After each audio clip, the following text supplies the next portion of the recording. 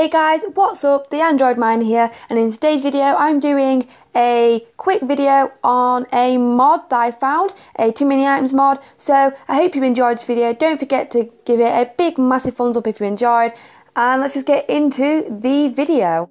Alright then guys, so as you can see right here there is a floating pickaxe on my screen. That is the mod menu. So as you can see I'm on creative right now if I go ahead and open this up, you can see everything that it'll let you do. You can change your game from survival, as you can see I'm in survival right now, and you can change it back to, to creative as quickly as that. You can change it from day to night, um, from night to day, and you can also turn it, turn rain on. So as you can see, and you get a message popping up saying that rain will turn into snow in a snow biome. And you can also put lightning on. Um, if I change back into survival, you can also change how many XP levels you have, so that's pretty cool as well. You can change it so you can fly in survival, which is also very cool. And you can change it so you're invincible, in survival. So if I go ahead and fly up, as you can see, I have one. Oh, let me let this. So wait for my hearts to regenerate, and then I'll show you. So if I go down, uh, no hearts appear because I'm invincible. So that's pretty cool as well. And if you go over to the enchant section, you can choose a weapon or piece of whatever to enchant.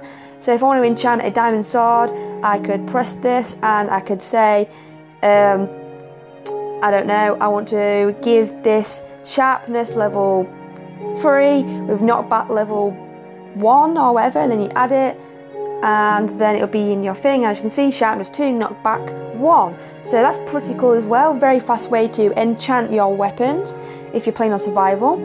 Um, you can add any item that you want. Basically, you can search up for the item ID, or you can just go through everything and search for what you want. And there is some items on here that you wouldn't be able to normally get. Um, I think, anyway. Um, I don't know. Uh, you'd have to go through and just look at all these, these are things that you can get. So you would choose one you want. Say if I wanted some grass um, blocks and I wanted 16 of them, and then I wanted um, some logs as well, I could add, and then it would add 16 of them both into my inventory. So that's pretty cool. Very quick way to get things in survival. Um, so yeah, that's another cool thing. Also, you can go down to mobs and spawn mobs that you might want to have. So, say if I wanted to spawn myself a pig, if I want to spawn 32 pigs, 32 pigs will start to spawn, which is pretty cool. Um, let me just move out the way of all these pigs right now. Let's go ahead and kill some of them with this sword. Pretty cool. There we go. Um, so yeah, there we have 32 pigs right in front of us. And the same will work for anything that's on there. And, and in your pack, this is what is inside of your inventory. So as you can see, I have all this. So you can get rid of things out of here. Like you can delete it. Say if I want to delete all this, go back. As you can see, it's now gone. So that's also very cool to get rid of things very quickly.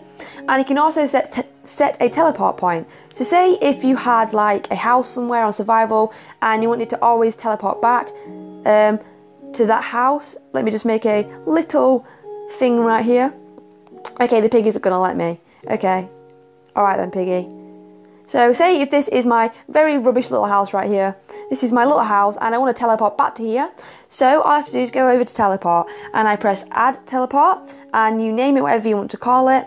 Um, so I'm going to call this one home and press done and then you press confirm and then say if I move over here, let's move all the way over here and then if I want to go back to my house, I press home and I'll be teleported there. So yeah, that's pretty cool. And as you can see, I already added another teleport in, which is called teleport one. So it just teleported me over here. Let's just go back to home. As you can see, very quick, very, very simple. That is something that's really good. And if I'm honest, I think that should be added into Minecraft anyway. Um, I think it's in PC, not too sure, but I think that's really, really cool. And last but not least, we have the section that says screenshot. So you can just take a screenshot like that, and it'll say screenshot is taken, and it's now saving.